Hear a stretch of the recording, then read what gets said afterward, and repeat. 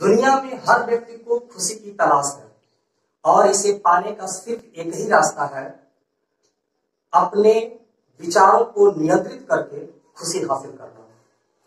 यह हमारी बाहरी परिस्थितियों पर निर्भर नहीं करती।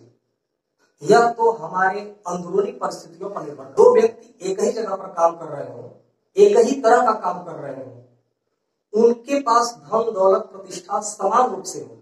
फिर भी यह हो सकता है कि एक व्यक्ति सुखी हो और एक व्यक्ति दुखी इसी तरह से एक किसान चिलचिलाती धूप में काम करता है, फिर भी वह उतना ही सुखी पाया जाता है जितना कि एक एयर कंडीशन ऑफ़िस में एक व्यक्ति। दोस्तों, कुछ ऐसे टिप्स अपनाकर आप अपने नज़रिए को बदल सकते हैं। तो चलिए जानते हैं।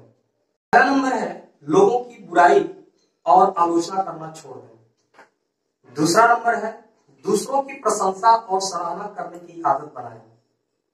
तीसरा नंबर, सिर्फ़ अपने बारे में सोचना छोड़ें चौथा नंबर, हमेशा दूसरों की भावनाओं या नज़रिए को समझने की कोशिश करें।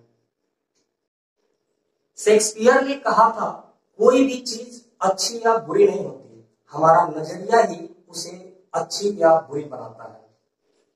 यदि यह वीडियो आपको अच्छी लगे तो लाइक करिए, दूसरों को शेयर करिए, और ऐसे ही वीडियो आपको मिलती रहे, इसके लिए आप चैनल को सब्सक्राइब करें। धन्यवाद।